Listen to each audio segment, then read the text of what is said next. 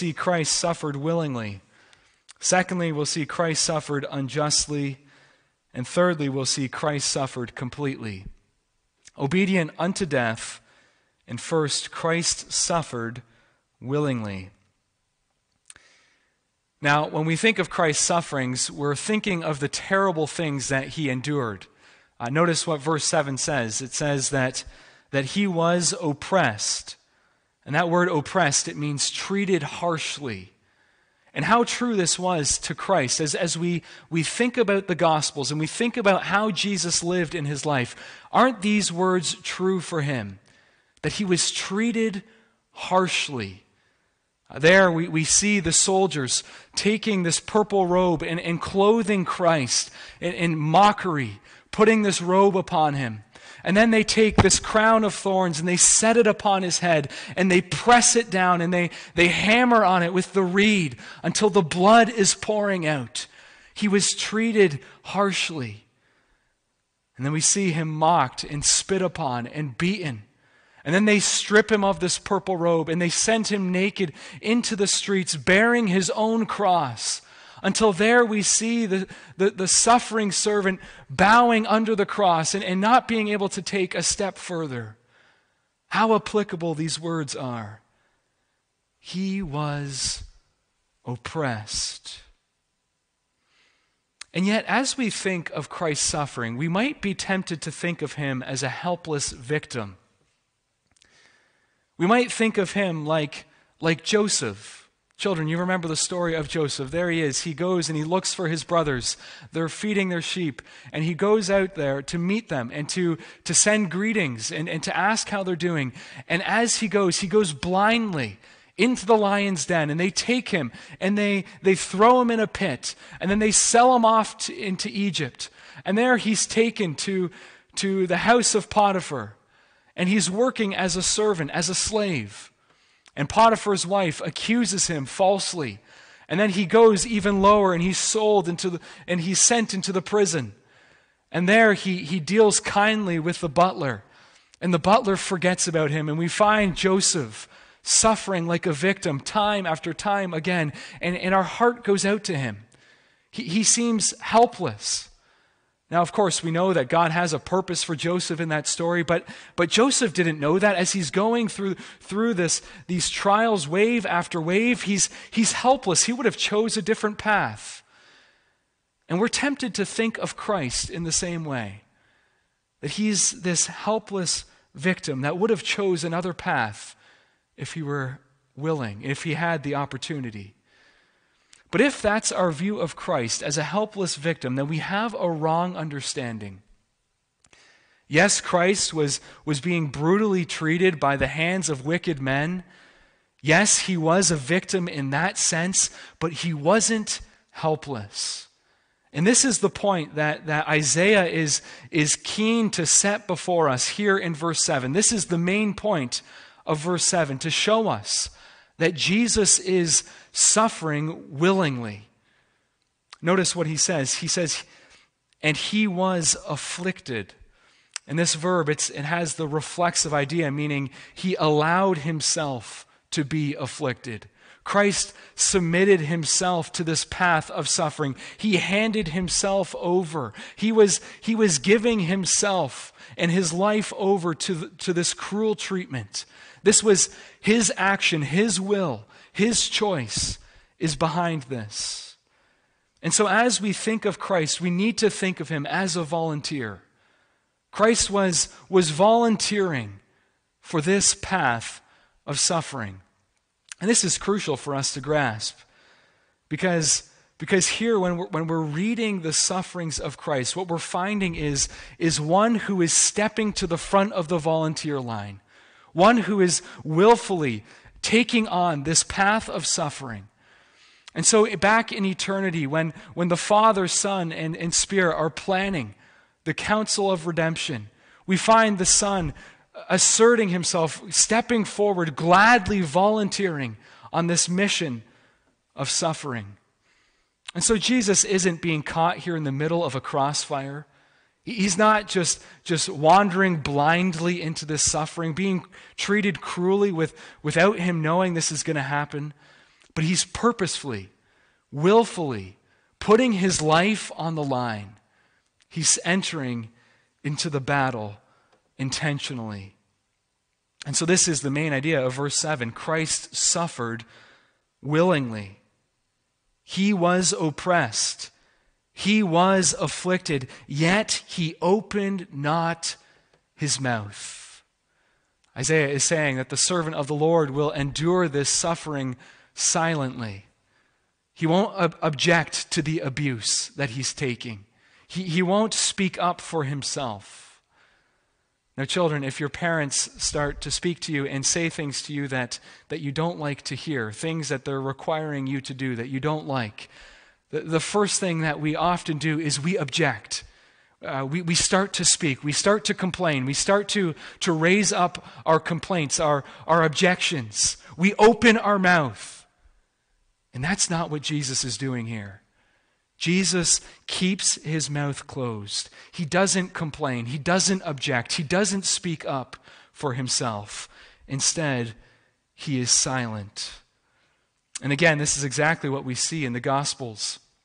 There we are met with the eerie silence of Jesus in the midst of his suffering.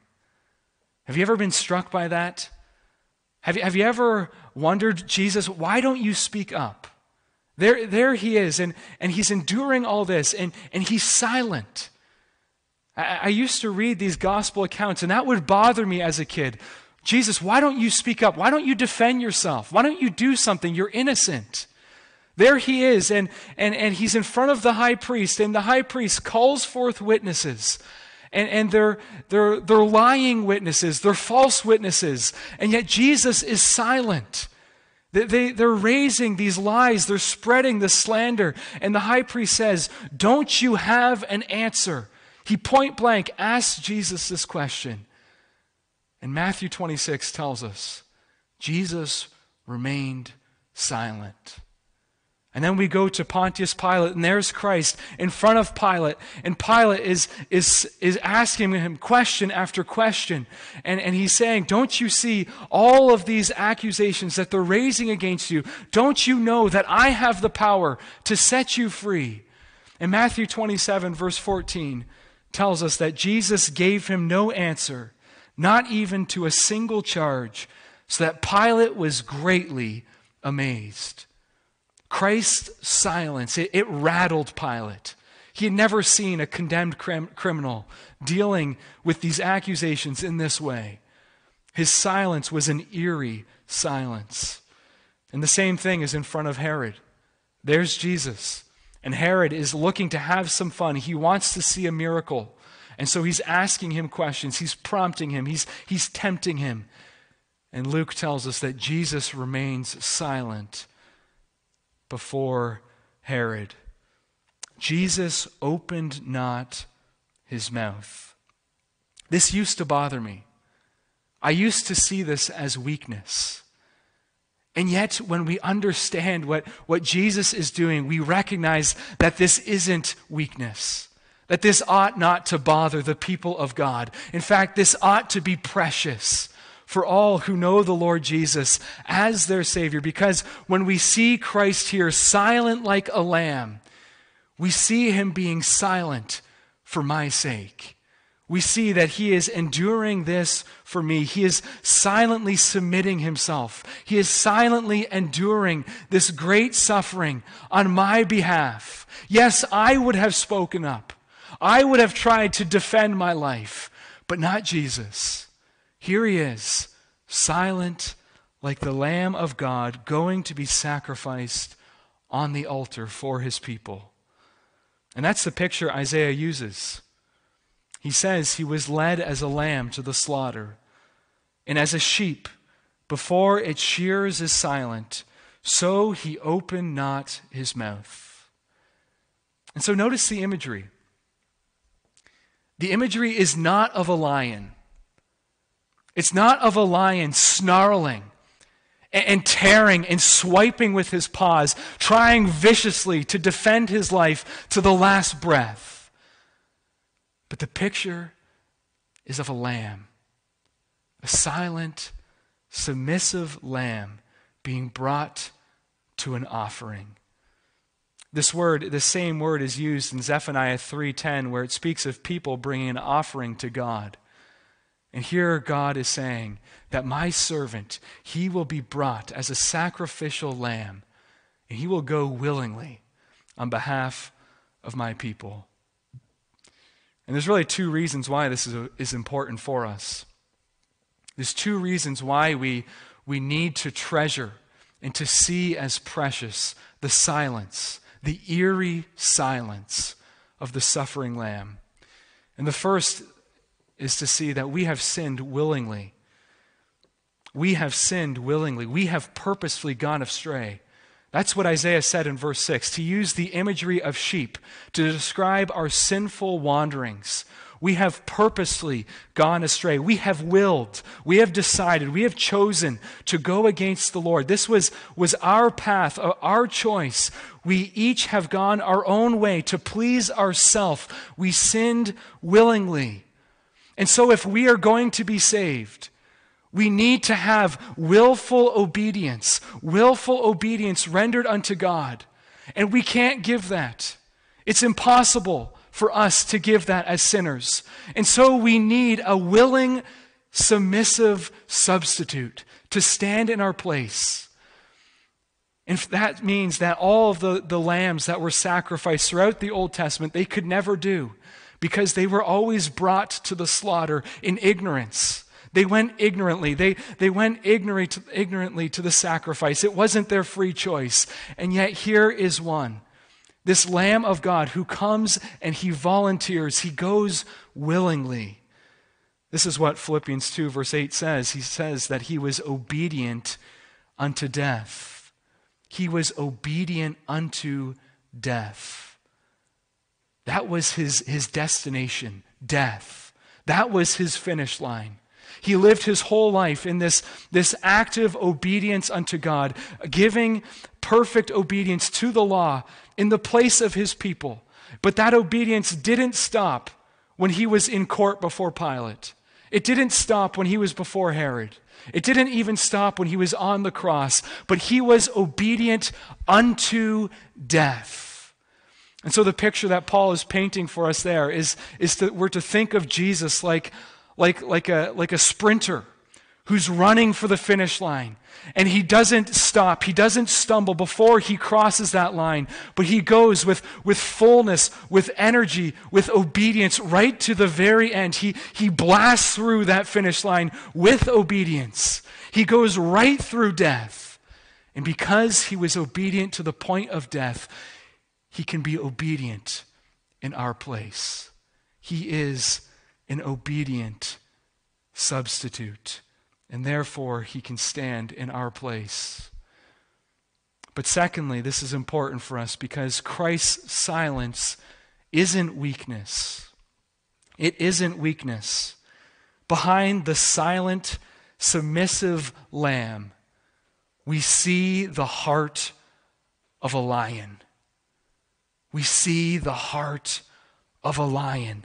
There is great strength here in Christ when he's silently enduring this suffering.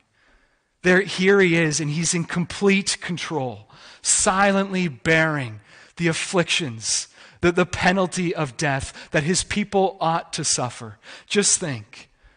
Just think. Here is the Almighty Son of God. One word could have called down 12 legions out of heaven if, if he just lashed out. One word, 12 legions Herod would have been dead. Pilate would have been dead. The mobs would have been dead. One thought could have brought down fire out of heaven and consumed them all. As Spurgeon says, Calvary could have become a volcano of God's wrath. Here is complete control in the Lamb as he willingly, purposefully, intentionally goes and bears the suffering on behalf of his people. What strength we see in this submissive lamb. We see the heart of a lion as this lamb climbs himself, climbs onto the altar. He's the only lamb that ever did that, who willingly climbed up onto the altar and laid there bearing the wrath of God's judgment against sin. He suffered willingly. This takes us to our second point. He suffered unjustly. And we see that in verse 8, where Isaiah says he was taken from prison and from judgment. And the word for prison is literally, he was taken from oppression. And that word meaning violence committed against him. He was taken from oppression, from this violence. And, and judgment is, is a judicial term. It's, we're to think of a law court. And so these two terms, they really come together to present one idea in mind. Isaiah is, is seeing by the Spirit into the future, and he's saying that the servant of the Lord, he will come and he will suffer violence, oppression at the hands of a judicial court. That he will, he will have the legal system come against him with a vengeance. He will suffer unjustly at the hands of, the, of these earthly courts. And so Isaiah is saying that, that this servant of the Lord, he's not going to suffer in secret. He's not going to be taken behind a shed somewhere and, and, and beaten up by, by this, this goon of hooligans and murdered. No, he's going to be made a public scandal. He's going to be brought into a law court. And there he's going to be dealt with, he's going to deal with violence and oppression. He's going to deal with this public judicial procedure that condemns him to death unjustly. This is what Isaiah is seeing by the Spirit 700 years prior to the coming of Christ. And this is what we find in the Gospels. This is what we see as, as we see Christ in the Gospels before, before the courts, before Pilate, before Herod, as the mobs are crying out against him, we see that, that Christ is made a public spectacle, that the courts of earth are, are raging against the courts of heaven as they take the Son of God and they condemn him to death. And we know that he is dealing with this judgment unjustly because Isaiah says in verse 9 that he has done no violence nor was any deceit in his mouth. And time and time again, Isaiah has made this point that this servant of the Lord is innocent. He's the obedient servant. And yet, he is suffering injustice against him. And Isaiah goes on and he says that the courts will, will act in a decisive way against the servant of the Lord. Uh, verse 8 Who will declare his generation? And that word declare, it's, it's the word for meditate. Who, who, will, who will ponder on? Who will contemplate his generation? And the idea being there, who will, who will think about his legacy? Who, who will take notice of, of his enduring legacy? Who will declare his generation? The, the idea is that, that, that he will die in obscurity, that he will die and people will think this is the end of him. Notice how Isaiah says, For he was cut off from the land of the living. And that word cut off, it means to be, to be hacked down like a tree. He, he is violently separated from the land of the living. And again, we see this in the Gospels where, where Christ is, is, is brought to the courts and, and he's, he's put on trial and they, they condemn him to death and they bring him to, this, to the cruelest death that they can think of the crucifixion on the cross. And there, as he's hanging on the tree, no one is thinking about his enduring legacy. They think this is the end of him. Just imagine you were there and you, see, and you walk by the cross and you see this, this bloody, battered man hanging on a cross. He's 33 years old. He doesn't have a wife. He doesn't have kids. He has a few scattered followers that have forsaken him. Would you contemplate his legacy? That is, would you think that, that there is a story behind, beyond this point for him? No. We, we would think that this is the end. This is, this is just another criminal dying on a cross, end of story. That's the idea that Isaiah is presenting for us. Who will declare his generation? For he was cut off from the land of the living. Well, this is the humiliation Christ stooped to. We've all suffered injustice in our lives on various levels and different degrees. Maybe you know the pain of being slandered. You know the, the, the, pain of being stabbed in the back by, by close people, maybe friends or family even. And yet, none of us have come close to the depths of what Christ endured, of how harshly, how unjustly he was treated. And so the question is well, what makes sense of this? Why is, why is the sinless Son of God suffering such injustice? Have you thought about that question? Have you stopped long enough to, to ponder why would God suffer such injustice at the hands of sinners? Have you stopped to, to think what, what's, what's behind this? Have you paused as, as God has maybe pressed pause on your life in this time of, of uncertainty, in this, this time of, of this virus happening? Have you, have you paused to consider this most important question? Why is God willing to endure such injustice by the hands of sinners? Do you have an answer for that? My friend, Isaiah has an answer. And it's an answer that he keeps bringing up. And it's the answer we find at the end of verse 8 For the transgressions of my people, he was stricken. This is the answer that keeps bubbling to the surface substitution. He for me. This is why. This is why Jesus remained silent in front of the courts. This is why Jesus was obedient to the point of death. This is why Jesus descended so low walking on this road of shame, why he willfully chose this path, it's because of the depths of his love. That's the answer we need to come to as we contemplate the sufferings of Christ. Why would God go so low for sinners? Well, we won't find an answer for that question. But the fact that he does, the fact that he does, that's the clear message of the gospel that he was cut off by sinners and that he did this for sinners.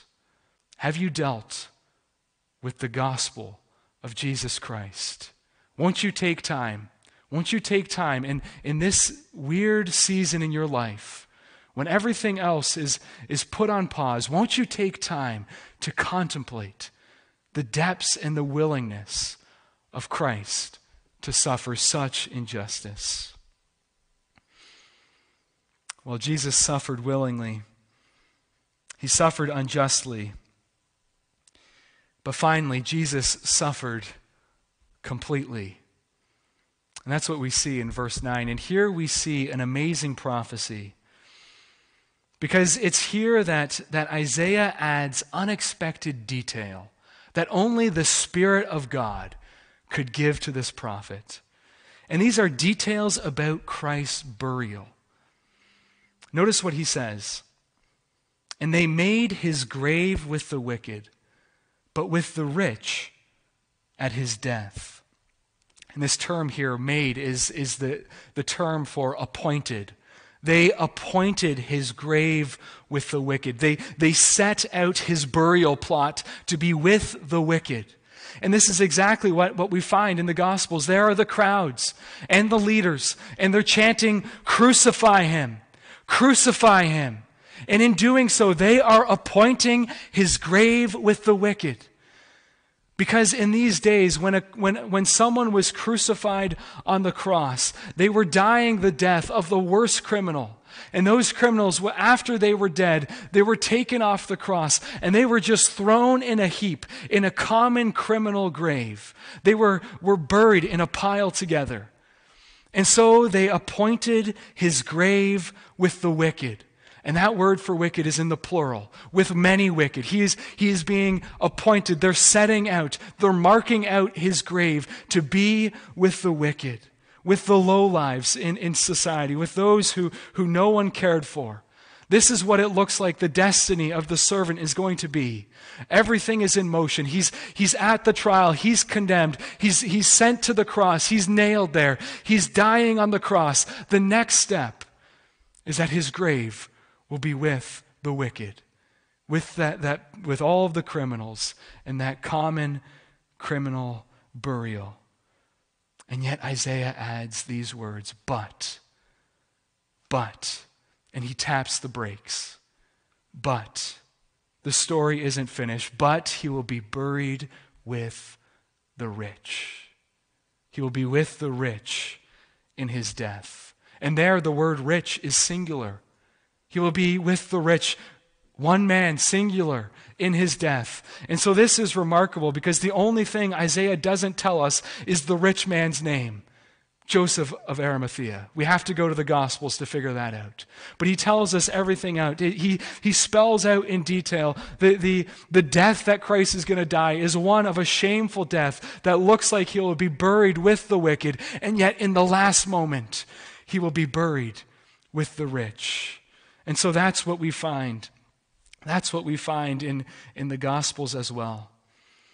And as we hear this, we need to see that the burial is actually another step in Christ's humiliation. Yes, Christ isn't buried with, with the common criminals, but he's buried in a borrowed tomb. And that is great humiliation. Because here is the King of Kings, the owner of everything, the Lord of Lords, and he doesn't even possess his own burial plot. He's buried in a borrowed tomb. You read this in John 19, verse 31 to 42, where Pilate permits Joseph to take his body, and, and he lays Jesus' body somewhat unthinkingly into his tomb because because the Sabbath is coming and he doesn't know where else to lay his, his, dead, his dead Messiah. And so he just he puts him in his own tomb. And yet, this is all according to God's purposes and fulfillment of this prophecy. And yet, what humility we see here. Christ, the Son of God, not owning even his own grave. And the burial of Christ is important for us because it tells us that Christ suffered completely.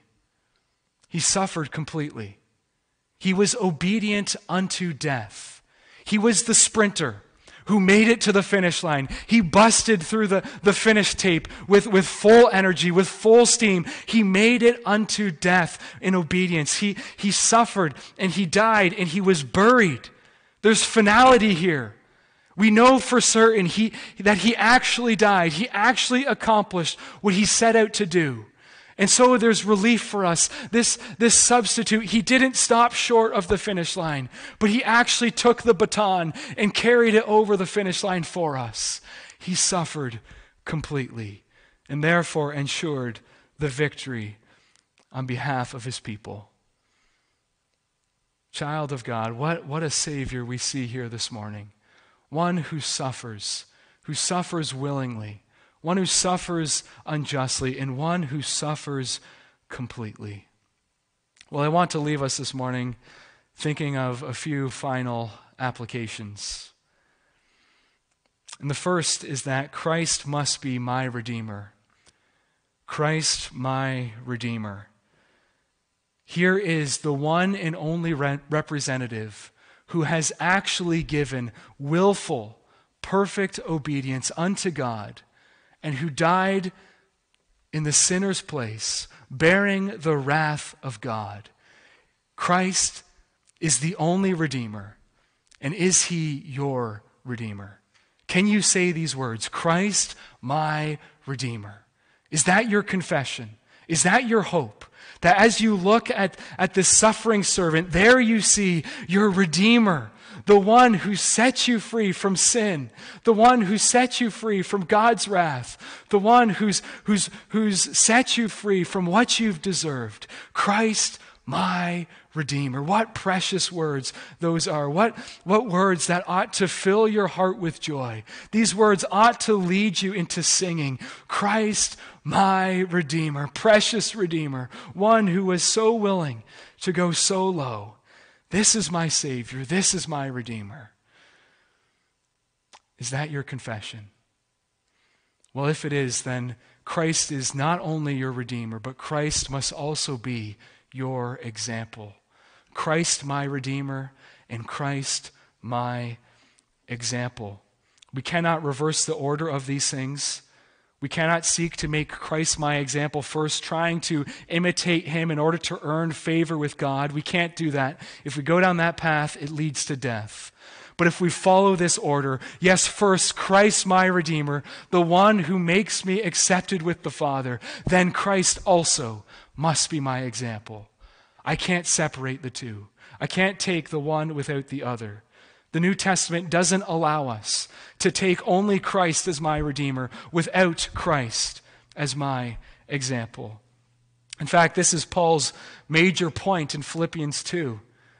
There in Philippians 2, we find Paul, and he's, yes, discussing Christ's humiliation. And he's discussing the exaltation that Christ will enjoy in verses 6 through 11. But what sets up Paul's whole dis- discussion of the depths of Christ's humiliation is the fact that we are to have the same mind of Christ. Notice that. Notice that Philippians 2 5 sets up this whole passage.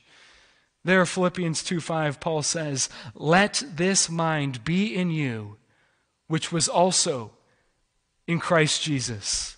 And then he unfolds Jesus, being in the form of God, did not consider it robbery to be equal with God, but made himself of no reputation, taking the form of a servant, and coming in the likeness of men, and being found in appearance as man he humbled himself and became obedient to the point of death, even the death of the cross.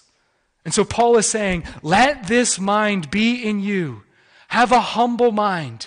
And let me flesh out what that looks like. See Jesus, see him suffering, see him willingly going to the point of death in humility. And so this is our pattern. This is our example.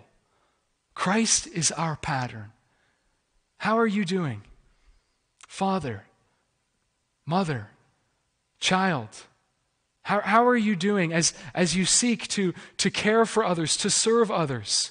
Jesus became a servant, and he was obedient to the point of death. This is our pattern. This is our example. Are we following his lead? That's the point of Philippians 2.